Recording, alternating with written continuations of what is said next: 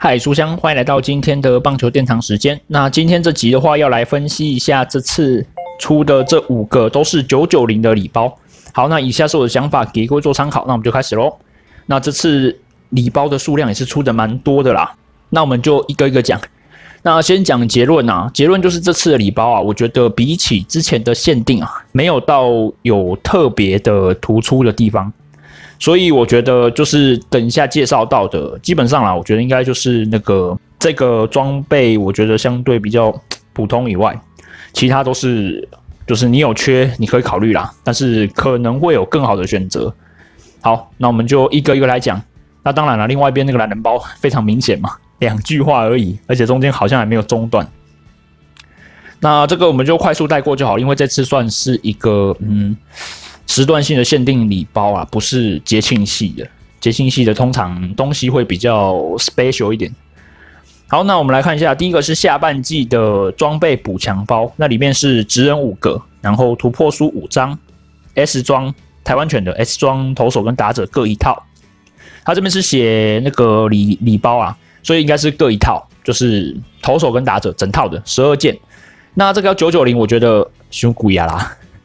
这个就是你要值了，你买制霸就好了。那 S 装现在大家也是开始都开始集满，或者是送蛮多。这个是给什么人用的？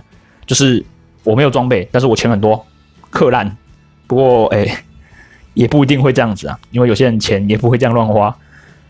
好，接下来是下半季战力加强包。那这包主打是全部都是礼包，所以它没有金币，也没有钻石。这次的东西都是主打个别的某一个各个项目的特别多。那这一这一包的话，我觉得 EX 就现在已经没价了。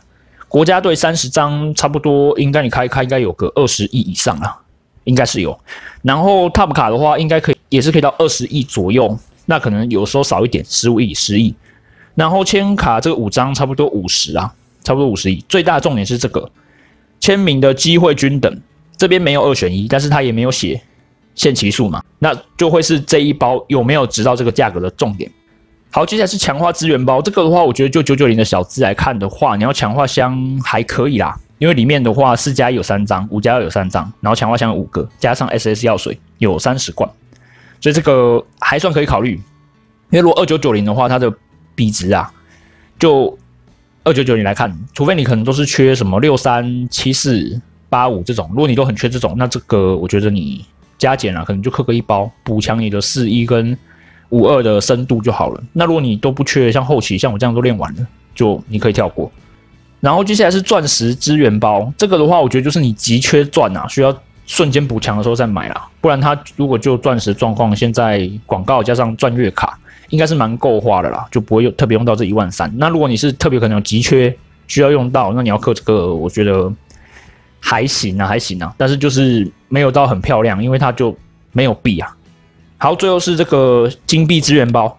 那这包的话，我觉得就是你看个人，因为它的比值没有之没有那个一百亿的，就是一百一十亿、一百一十亿金币对的那个来的漂亮。那个一百一十亿的话啦，之前算的话，它的比值是一一千六百多。那这箱的话，差不多在一千五百多。那主要差在哪里？差在那那一包就是纯金币啊。那这边的话，可能还有 S 药水，但是可能我觉得还好而已。所以就是你自己在考虑啦。就是六百七也不一定会天天出来嘛，对，不然我觉得其实如果你只是要金币，你氪六百七就好。